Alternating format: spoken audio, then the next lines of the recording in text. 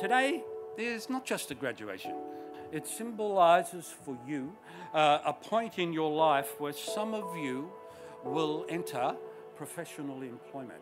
Today is really all about you, UBSS graduates, and your families and your friends who are with us here today to share your occasion. What's the best thing about today? It's the celebration, not just of the students, but also of the parents. The, for every, all of us, stand on the shoulders of the previous generation. Uh, great to be here at the UBSS 16th uh, graduation here at the uh, Sydney Harbour.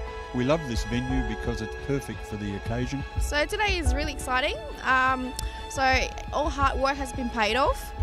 Like I have been waiting for this day for a long time, especially my parents just coming over from Vietnam. Because of this degree, I get an opportunity to start working as a professional.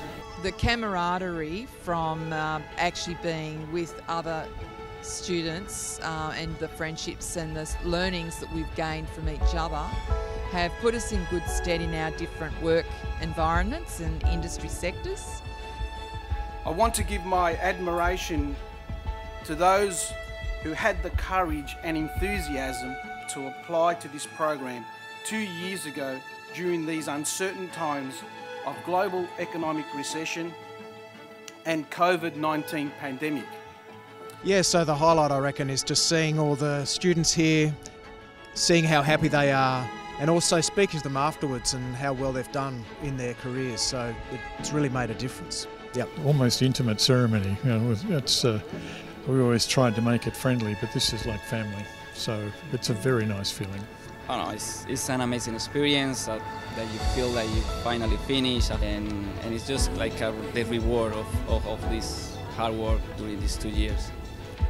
And I'm happy to report that the winner of this award is Fernando Perez Zapata.